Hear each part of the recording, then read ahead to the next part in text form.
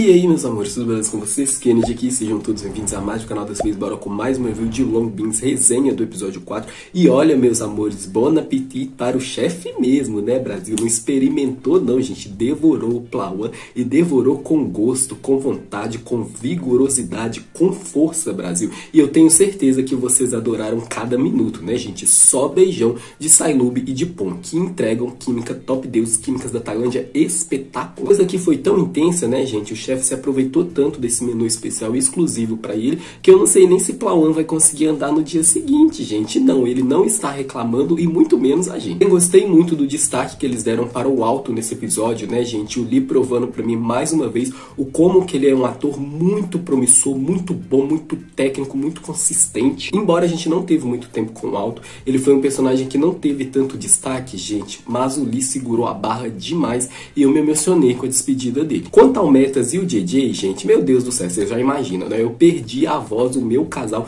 Estou extremamente ansioso por ele, gente. Já se tornaram aí um dos meus casais preferidos do ano, Brasil. Estou completamente rendido aos dois. Essa sessão de saca na fisioterapia, sim, gente. Meu Deus do céu. Garfield Ben se tornando top deuses químicas da Tailândia, entregando uma tensão palpável. E a direção e a montagem dessa cena também estava muito boa, gente. Que episódio bom. O melhor episódio da série para mim até agora. Bora comentar tudo no quarto episódio de Long Beans. Vamos lá.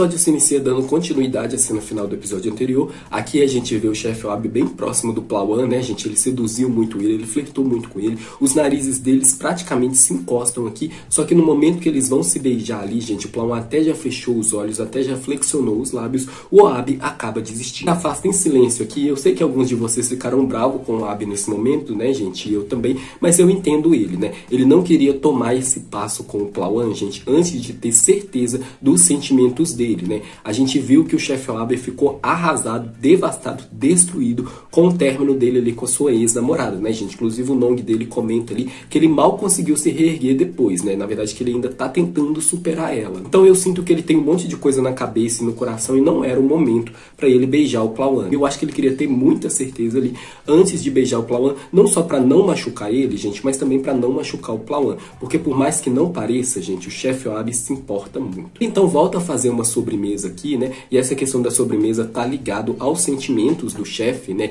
Ele sempre fazia sobremesa ali para sua ex-namorada. Então ele fazer sobremesa novamente, gente, é a série indicando pra gente que ele já está se apaixonando pelo Plauan, que ele já tá tendo sentimentos fortes pelo Plauan, tanto é que isso fez com que ele quisesse cozinhar sobremesa novamente. E provavelmente, gente, o motivo do término do Ab com a Kalsuai ali é realmente porque ela decidiu estudar no exterior ali. O Kai até comenta com o Plauan em um momento que ela desapareceu do restaurante do nada, isso deixou o chefe arrasado e tal, que ela decidiu ir estudar no exterior. E eu realmente senti que o Ab queria encerrar uma história antiga antes de começar uma história nova. Então aqui, gente, mesmo que ele jogue a sobremesa fora depois, o que pode representar uma certa confusão nos sentimentos dele, só dele ter feito a sobremesa já fica claro aqui pra gente que ele está se apaixonando pelo Plauan. O Plauan então conta para o JJ o que foi que houve e o JJ, qual é a dificuldade de você entender o que aconteceu? Foi um beijo, querido, um beijo. O JJ deixa claro pro Plauan que o chefe ia beijar ele, isso pode indicar que o chefe tem sentimentos pelo Plauan, mas ele acabou desistindo no final por algum motivo pessoal dele. Ele então pergunta se o Plauan tem sentimentos pelo chefe, gente. O Plauan nega aqui, fala que apenas tá confusa. Aham, Plauan, me engana que eu gosto. E o Plauan volta tarde da noite ali pro restaurante, o chefe repreende ele, só que o Plauan é super rícido aqui, super frio com o chefe, né, gente? Deixar claro para o chefe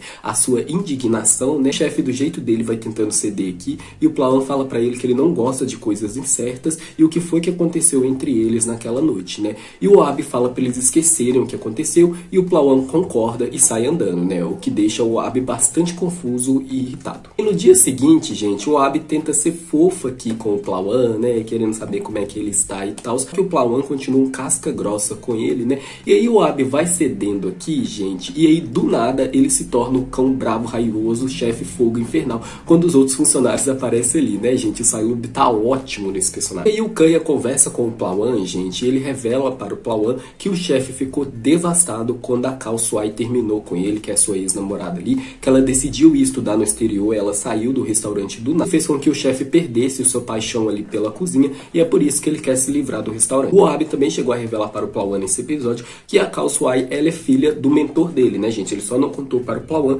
que o seu mentor, ele tá doente lá no hospital. O Khan então fala algo para o Plauan que é pesado, mas era esperado, que é que provavelmente o chefe Abi ainda não tá pronto para seguir frente, né? Ele ainda não tá pronto para pensar em outra pessoa. O Kanye falou isso, gente, porque ele quer o Plauan para ele. Então foi uma forma indireta dele falar para o Plauan não focar no chefe Brasil, porque eu acho sim que o Kanye é uma pessoa atenta, gente, e eu acho que ele nota o que tá acontecendo entre o Plauan e o chefe Abi, né? Resta que a dúvida, ele acaba bancando o Cupido indiretamente ou ele não quer bancar o Cupido mesmo, ele quer o Plauan para ele, ele gosta do Plauan e quer separar os dois. Ou seja, tem intenções ocultas por trás das palavras e dos gestos do Kanye, né, gente? Eu não sei vocês, Brasil, mas eu sinto que a teoria de que o Kanye gosta do Plauan tá ganhando cada vez mais força. E o Plauan fica atendendo as clientes ali e o Ab ferve de ciúmes, Brasil. Eu adoro ver o Sailub com expressão de ciúmes, cara, ele entrega muito. Como era esperado do chefe Fogo Infernal, gente, ele é extremamente ciumento, ele sente ciúmes de qualquer um que chega próximo do Plauan e eu tô muito ansioso para ver qual vai ser a reação dele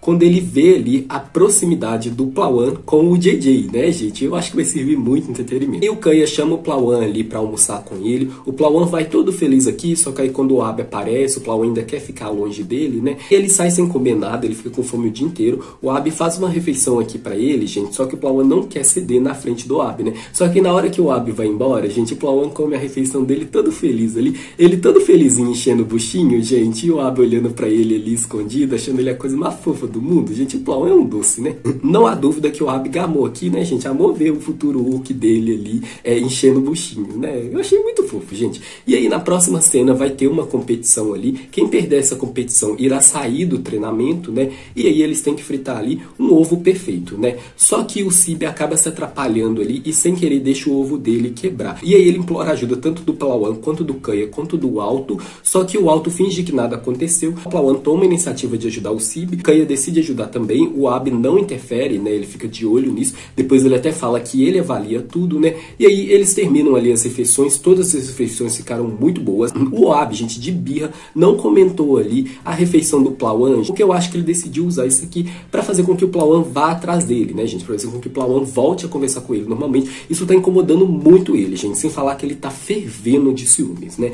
E sim, gente, o chefe Fogo Infernal nem sempre é justo, né? Afinal, ele tem esse nome e não é à toa, né? Mas eu gostei que o Nung, que também é um juiz ali da competição, fala para o Plauan que a comida dele tava muito boa, né? A gente vê que o Plauan melhorou bastante aí. As lolas que o Kaya deu a ele, gente, deu muito resultado. Né? O escolhido para ser eliminado da competição aqui é o ator Brasil. O Abe até acusa ele ali de ser espião do Metas, né? Só que na verdade não era, gente. Acontece que o restaurante da família do autor tá à beira da falência ali e ele tava anotando ali os ingredientes que o chefe Abe usa, os custos de produção e tal, Brasil, para tentar ver se ele consegue salvar ali o restaurante da sua família, né? Para levar para o restaurante. Ele não é o espião do Metas, gente. A gente sabe muito bem, né? O espião do Metas é o Cláudio. Ele consegue explicar tudo ali, mas só pode haver um vencedor, né, gente? Não teria como o chefe Abe manter ele na competição ali. Afinal, é uma competição. E a despedida dele, gente, foi emocionante. O Lee teve pouco tempo de tela, tanto lá em Pit Baby quanto aqui em Long Beans, mas mesmo poucos minutos, gente, quando o ator é ótimo, como o Lee é, já são suficiente para ele deixar sua marca. Então, mesmo que ele tenha mais destaque aí no Boys Love, que ele vai estar com o Ping e o Nut, gente, que futuramente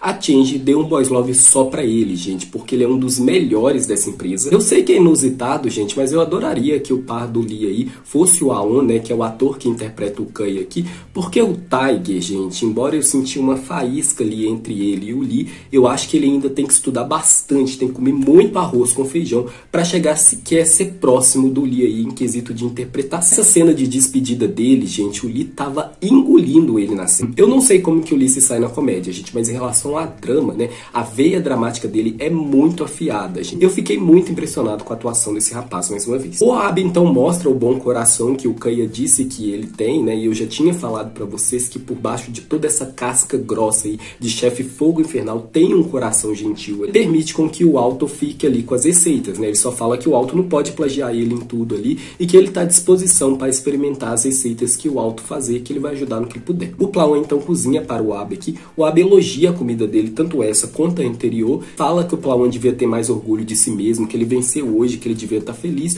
O Plauan fala que ele está feliz, mas se sente culpado porque o Alto é muito melhor que ele. E aí o Abi fala que essas coisas precisam de experiência, que a jornada dele só está começando. Sobre a questão da culpa do Plauan aqui, gente, também tem a ver sim com ele ser o espião do Metas, né? Ele sabe que ele não devia estar ali naquela competição e que ele tirou a vaga de alguém que realmente merecia estar aqui, que precisa estar aqui. Vamos ver como que eles vão continuar trabalhando essa culpa do Plauan nos próximos episódios, né, gente? Mas realmente, quando a verdade vier à tona, eu acho que vai ser uma cena muito, mas muito pesada. Agora, para o Metas e para o DJ, o que acontece aqui é que o JJ chega ali no local onde ele trabalha, né? E a chefe dele tá puto da vida dela que ela pergunta se ele fez alguma coisa com o Metas, porque o Metas registrou uma reclamação ali e que se ele postar nas redes sociais eles estão acabados e tal. E ela convence o JJ a ir pedir desculpas para o Metas, né? O JJ chega ali no quarto do Metas, gente, mas aqui o Metas tá em pleno surto. Ele tá sendo um idiota irracional, grosseiro, egocêntrico, arrogante, que a gente sabe que ele é. Ele achando que ele sabe mais do que todos os profissionais que estudaram para isso, né, gente? E os médicos não sabendo como lidar com ele, gente. Só que o JJ sabe, porque ele não deita para o Metas. Ele não tem medo do Metas, gente, e isso faz com que ele seja interessante para o Metas. E então esfrega na cara dele que se ele continuar tratando mal as pessoas assim, menosprezando as pessoas, ele nunca vai ter ninguém e que ele devia ter alguém para cuidar dele, principalmente na situação que ele está. O Metas então pensa, se é assim, é você que eu quero. O Metas escolheu o JJ porque o JJ não abaixa a cabeça para ele, gente, ao contrário, ele bate de frente com ele. Ele sabe que independente do Metas reclamar muito dele, ameaçar muito ele, ele vai fazer o que ele acha certo. E eu também sinto que embora não pareça, né, o Metas respeita o JJ e o JJ respeita o Metas. Um respeito mútuo entre eles aqui, debaixo de toda essa animosidade que acontece entre eles, né, gente? Essas brigas de cão e gato que é maravilhoso pra gente, serve muito entretenimento. O Metas sabe, gente, que não tem ninguém melhor para cuidar dele do que o JJ, porque além de tudo que eu falei aqui, gente, o JJ genuinamente se importa. No fundo, o Metas sabe que o JJ não vai cuidar dele só por dinheiro, que ele não é esse tipo de profissional. Desperta ainda mais a atenção dele. Claro, gente, também tem a questão ali que ele quer vencer o JJ, né, gente? Porque como é que tá o placar aí? Isso mesmo, né? JJ 4, Metas 0. E aí ele vai até a mansão do Metas e a empregada do Metas revela para ele o trágico passado do Metas, né, gente? Que quando ele estava estudando no exterior, toda a sua família acabou se envolvendo em um grave acidente de carro e todo mundo foi de base, né? Seu pai, sua mãe e sua irmã mais nova. Aqui dá para entender por que, que o Metas é um idiota, né, gente? Por que, que ele não se apega a nada? Por que, que ele não vê valor sentimental nas coisas, nas pessoas? Imagina o quão terrível é a sensação de você saber que as pessoas que você mais ama e as pessoas que mais te amavam morreram enquanto você estava longe, você não podia fazer nada e você também não pôde se despedir. Dá pra ver por que, que o Metas é tão viciado no trabalho, né, gente? É um escape dele ali para ele não ter que encarar esse sofrimento de estar sozinho, essa agonia de ter perdido a sua família. Além disso, gente, eu pensei que provavelmente ele manter os negócios ali funcionando, os negócios ali no Trinks, talvez ele faça isso porque é assim que ele acha que ele vai manter a memória da família dele viva, né, cuidando dos negócios deles ali. Outra coisa, gente, o fato dele tratar todo mundo mal, dele fazer as pessoas terem medo dele, tem a ver justamente com o medo que ele tem aí, né, gente, que eu diria que foi até um trauma, né, o Metas tem uma cicatriz emocional aqui, uma cicatriz que ainda tá muito aberta, que é o medo de perder as pessoas. Então, na cabeça dele ali, gente, se ele trata mal todo mundo, se ele é um babaca, um imbecil com todo mundo, ninguém irá se apegar a ele e ele, consequentemente, não irá se apegar a ninguém. Logo, ele não tem que temer perder essa pessoa. O Metas segue sendo o personagem mais complexo dessa história. O JJ, então, ajuda o Metas ali a vestir roupas mais apropriadas para eles terem ali a sessão de fisioterapia. Reparem, gente, que o Metas usou terno de propósito, porque, mais uma vez, ele queria vencer o JJ. Eles flertaram muito, quase o tempo todo. E sim, gente, a gente pode comemorar porque o JJ respondeu os flertes sim, a atração entre eles claramente existe. O JJ deixa claro para o Metas que ele não veio por causa de dinheiro, ele não admite aqui que ele veio porque ele se importa com o Metas, né, gente, também porque ele se compadece com o Metas ali, por conta de saber a situação triste dele ali, né, gente, a situação trágica dele, de não ter ninguém, da família dele ter morrido e tal. Sabe que se ele falar isso e o Metas detectar nem que seja um pinguinho de pena nas palavras dele, gente, a relação deles ia ficar ainda mais atritosa do que já está. O JJ sabe que o Metas é só um animal ferido que tá com a flecha ali no corpo, digamos assim, que ele próprio não consegue retirar e que ele precisa de ajuda. Ele então fala para o Metas que um dia ele vai entender o motivo do JJ ajudar ele. E a fisioterapia começa para valer, gente, ela foi cheia de sorrisos ambíguos,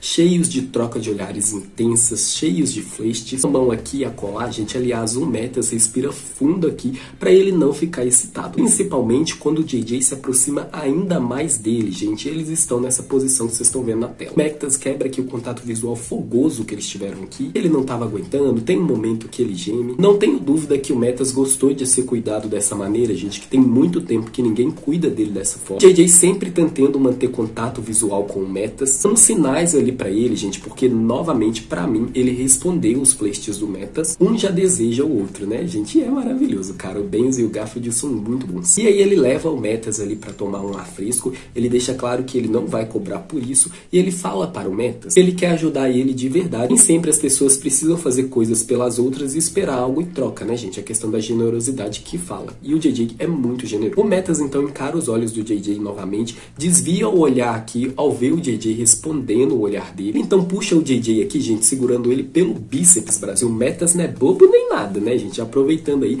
a oportunidade que a vida deu para ele para testar ali os músculos do mozão, né? E eu não tenho dúvida que ele adorou, né? E ele fala para o JJ, toda vez que eles se encontram ali, o coração dele dispara descontroladamente. Se ele não dispara descontrolado por conta da raiva, seria por algum outro motivo. O Metas aqui só foi, né, gente? O JJ sente um gay panic aqui e fala o que, que é que você tá falando. Em que ele entra na defensiva na hora, gente. E o Metas percebeu isso. Olha o sorriso desse canalha aí. E aí depois ele falando que ele queria recuperar rápido, mas não quer recuperar tão rápido assim agora, gente. Por quê? Porque ele adorou ter o JJ ali do lado dele, né? Cuidando dele. E ele falando pro JJ cuidar dele por muito tempo, né, gente? Ah, mano, o nosso empresário tá caindo aqui. Maravilhoso, cara. Meu casal. Eu muito preciso mais dele sim, né, gente? Mas voltando aqui para o Plauan e para o Abi, pra gente poder encerrar a resenha, o Abi leva o Plauan ali até seu local particular e ele faz uma sobremesa para o Plauan. Ele fala para o Plauan que essa sobremesa ele fazia ali para sua ex-namorada, por isso que ele não vende ela ali no restaurante e tal. O Plauan fica puto da vida dele aqui, né, gente, se sentindo a segunda opção. Só que aí o chefe explica para ele que o Plauan fez ele querer fazer a sobremesa novamente, mas com outro sabor, né? E aí, gente, ele faz o Plauan provar a sobremesa de novo, enquanto fode ele com os olhos, Brasil, atenção muito, mas muito gigante aqui. Ele não aguenta mais segurar o Plauan também não. E a gente também não, né, gente? Já tava na hora da gente ganhar esse mimo. E aí, simplesmente, gente, o Abe começa a devorar o Plauan, Brasil. O Sailub não beija o pão, não, gente. Ele devora os lábios dele mesmo. A gente vê que o chefe Abe tava com tesão extremamente acumulado, né, gente? Jogou tudo para fora nesse momento, né? Maravilhoso, não estamos reclamando. E aí ele come ali os lábios do Plauan, gente. O Plauan então começa a devolver o beijo na mesma intensidade. Os dois começam a se beijar muito ali. O chefe Ab já senta o Plauan ali em cima da mesa, gente. O Plauan pergunta para o Ab se ele tem certeza, porque dessa vez ele não vai deixar o chefe parar, gente. O chefe não quer parar, não, Brasil. Ele quer continuar com força e com talento, né? E aí ele começa a beijar o Plauan todo ali novamente, deita o Plauan ali na mesa, devora o corpo dele todo. Eles vão se beijando aqui, eles tiram a roupa. Depois que o chefe devora o Plauan ali na mesa, a gente já carrega ele para o sofá. Sai Lubipon só entregando um beijão mais maravilhoso que o outro. E enquanto eles estão ali na sacanagem, né, gente, matando o que estava matando eles e a gente também, o Metas manda uma mensagem para o Plauan, mandando mais uma parte do pagamento, né? Nesse momento o episódio chega ao fim. Gente, eu tô muito ansioso pro próximo episódio, cara, em falar dele. Eu irei comentar a preview dele para vocês agora, mas respeito que nunca spoiler do próximo episódio. Se você gostou do vídeo até aqui, não se esqueça de curtir, se inscreva no canal e clique no sininho. Beijão. Para você que ficou comigo, bora detalhar a preview do episódio 5 de Long Beans. A preview abre com o Abby e o Plauan na arte marapelado novamente. O Plauan revelando para o JJ que ele dormiu com o Abby, o que, que ele deveria fazer, que ele não quer mais fazer isso, né, gente? Ou seja, ele já se apaixonou pelo Abby e ele não quer mais enganar o Abby ali, ele não quer mais ser o espião do Metas, mas ele tá numa encruzilhada ferrada aqui, né, gente? Porque tem uma multa muito gigante ali se ele desistir, né? E a gente vê o Metas perguntando para ele se ele tem algum plano para ele vencer a competição. O JJ é sincero com o Plauan aqui quando fala para ele que antes dele confessar o amor dele, ele devia confessar os seus pecados, né? Ou seja, ele devia contar a verdade para o chefe Oab antes de continuar prosseguindo nisso que está acontecendo entre eles. Porque, porque provavelmente o chefe Oab vai ficar muito triste e talvez isso entre eles termine. Só que mesmo que essa possibilidade exista, gente, é muito melhor se ele for honesto, se ele for sincero com o chefe Oab, do que o chefe Oab descobrir de outra maneira. E aí no próximo corte a gente vê o Oab querendo devorar ele mais uma vez, né, gente? Ele falando para o Plauan ali que ele estava feliz na noite anterior. Eu sinto que o Oab e o Plauan vão ser dois coelhinhos, gente. Eles vão fuder em tudo qualquer lugar do restaurante, tá? Não, não, não estamos reclamando. E aí a gente vê o Metas falando pro JJ que ele consegue cuidar dele mesmo.